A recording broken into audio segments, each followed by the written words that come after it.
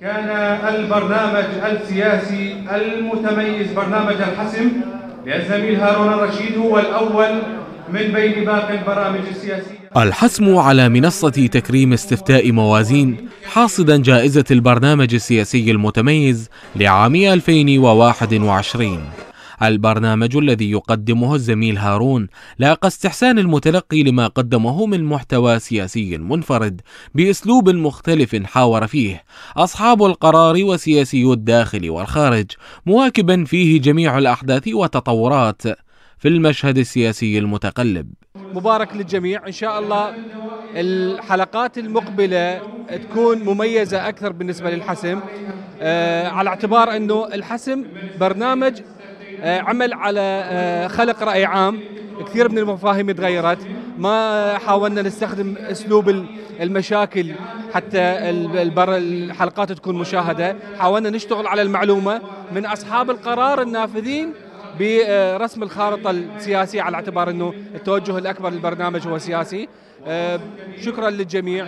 شكرا للمدير العام اللي يعتبر أساس نجاح أي عمل ينطلق بشاشة الرشيد الأستاذ علي بابان. شكرا لكم وهذا الفوز هو فوزكم جميعا. الرشيد تستحق من القنوات العائلية المهمة والمؤثرة وهي رسالتنا أيضا للرشيد وبقية القنوات، البلد يمر بمنعطفات كثيرة وهناك هجمات ضد العراق وتفكيك المجتمع والنسيج المجتمعي في العراق وأيضا شكو شيء ايجابي هناك استهداف له من بقية القنوات، نعول على الإعلام المهني والحر. مبادرة جميلة هذا هذه الاحتفالية تكريم المبدعين الفائزين الذي قدموا منتوجا ادبيا واعلاميا وثقافيا رائعا، أقول للفائزين مبروك عليكم هذا الفوز وشكرا لوكالة موازين نيوز وربما المستقبل سيكون أكثر تطورا للمبدعين العراقيين من فنانين وأدباء وصحفيين. إعلاميون وصحفيون وشخصيات مبدعة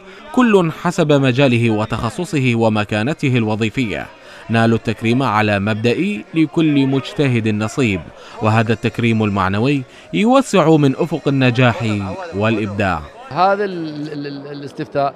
أعطى للمتميز العراقي المبدع العراقي صورة جديدة. يعني شنو الضير أن نكرم المبدعين؟ شنو الضير أن أن نقلدهم أو سمة التفوق التميز موازين كانت سباقة بتمييز المبدعين. حقيقة هذا الحضور اليوم يشجعنا على أن يكون العام المقبل عام أكثر فعالية أكثر حضور. هيئة الملاذ الحدوديه من الهيئات المهمة من ضمن مؤسسات الدولة. كان لنا إجراءات تدقيقية إلكترونية قوية.